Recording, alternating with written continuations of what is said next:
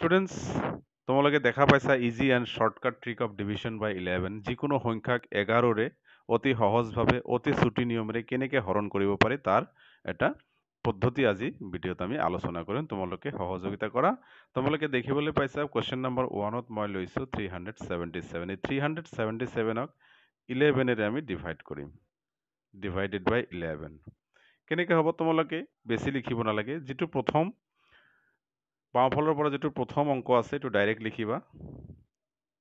তিনিটো আমি লিখিলোঁ। এইবাৰ ওপৰৰ দুটো অংক বাকী থাকিলে এই সাতৰ পৰা তিনি বিয়োগ কৰিম। কিমান হ'ব? চাৰি হ'ব। এই সাতৰ পৰা আকৌ চাৰি বিয়োগ কৰিম। কিমান হ'ব?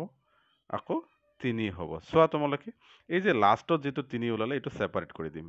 এতিয়া কি হ'ল? তোমালোকে ইয়াতে লিখিবা ভাগফল কুৱেশ্যন সমান সমান কি হ'ল? এই থাৰ্টি ফ'ৰ আৰু ৰিমাইণ্ডাৰ মানে ভাগ শেষ কি হ'ল? এই যে যিটো লাষ্টত যিটো সংখ্যা ওলাইছে অংক ওলাইছে তিনি। এইটো হৈ গ'ল। তোমালোকে এই হৰণ প্ৰক্ৰিয়াটো কৰি চাব পাৰা। কেলকুলেটৰত পৰীক্ষা কৰি চাব পাৰা। তোমালোকে মেনুৱেলি কৰিও চাব পাৰা যে এইটো ঠিক ঠাক হৈছে নে নাই। তোমালোকে চাব পাৰা পৰীক্ষা কৰি। এতিয়া দুই নম্বৰটো চোৱা। ছেভেন এইট থ্ৰী ছিক্স এইটোক আমি কি ইলেভেনেৰে ডিভাইড কৰিম। কেনেকৈ কৰিম? ছেম প্ৰচেছ এই প্ৰথমটো আমি আগত লিখিম সাতটো লিখিলোঁ। এই আঠৰ পৰা সাত বিয়োগ কৰিলোঁ এক হ'ল। তিনিৰ পৰা একটো বিয়োগ কৰিলোঁ। দুই হ'ল ছয়ৰ পৰা দুই বিয়োগ কৰিলে কি হ'ব? চাৰি হ'ব। লাষ্টৰটো ছেপাৰেট কৰি দিয়া। এতিয়া therefore q is equal to q মানে কুৱেশ্যন ভাগফল ছেভেন ওৱান টু আৰু আৰ মানে ৰিমাইণ্ডাৰ ভাগশেষ ফ'ৰ হৈ গ'ল এইটো। তোমালোকে পৰীক্ষা কৰি চাব পাৰা। এইবাৰ তিনি নম্বৰটো চোৱা। Divided by eleven five six eight ফাইভটো তোমালোকে এজ ইট ইজ লিখিবা। ছিক্সৰ পৰা ফাইভ বিয়োগ কৰিলে এক হ'ব আঠৰ পৰা এক বিয়োগ কৰিলে সাত হ'ব। লাষ্টৰটো ছেপাৰেট কৰি দিয়া। দেখিছা? দিয়াৰ ফৰ কি হ'ল? কুৱেশ্যন হ'ব ফিফটি ওৱান ৰিমাইণ্ডাৰ হ'ব ছেভেন এইটো হৈ গ'ল। এতিয়া বাকী তিনিটা অংক আছে। এই তিনিটাও মই আজি তোমালোকক দেখুৱাই দিম। আৰু বাকী তোমালোকে যিমান সংখ্যা আছে সংখ্যাবিলাক ইলেভেনেৰে কেনেকৈ এই চুটি পদ্ধতিৰে এই শ্বৰ্টকাট পদ্ধতিৰে আৰু সহজ পদ্ধতি কৰিব পাৰি তোমালোকে অংকবিলাক কৰিবা আৰু মোক কমেণ্টত জনাবা।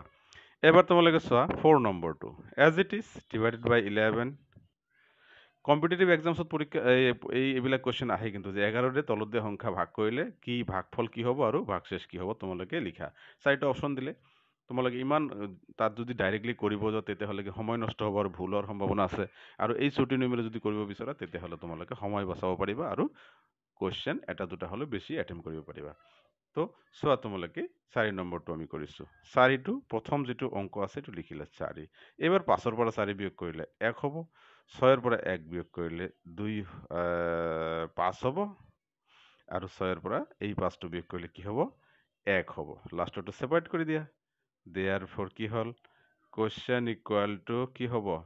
ফ'ৰ ওৱান ফাইভ আৰু ৰিমাইণ্ডাৰ ইকুৱেল টু ওৱান হৈ গ'ল এইটো। পাঁচ নম্বৰটো চোৱা। ছেইম প্ৰচেছ এইটো অলপ বেলেগ। এইটো মনোযোগ দিব লাগিব তোমালোকৰ। এইবাৰ তোমালোকে এজ এ ছিক্স লিখিলা কিন্তু এই তিনিৰ পৰা ছয়টো আমি বিয়োগ কৰিব নোৱাৰিম। এইটো কি কৰিম? কাটি পাছ কৰি দিম। ইয়াতে এক ওলালে একটো আমি ইয়াতে লিখিম। তেৰ ধৰি ল'ম। তিনি অৰ্থাৎ তেৰ। তেৰৰ পৰা পাঁচ বিয়োগ কৰিলে কি হ'ব? আঠ হ'ব। হয়নে?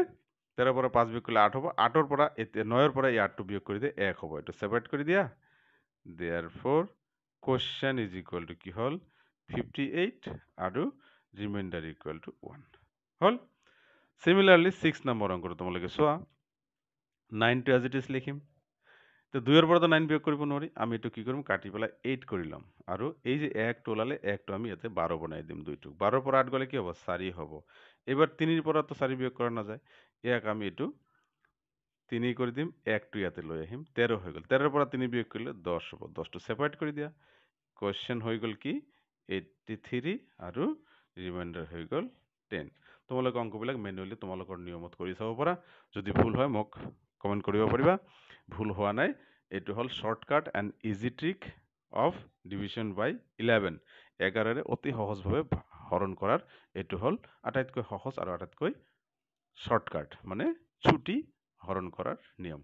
মৰমৰ ছাত্ৰ ছাত্ৰীসকল আজি ভিডিঅ'ত এইখিনিয়ে লগ পাম পৰৱৰ্তী ভিডিঅ'ত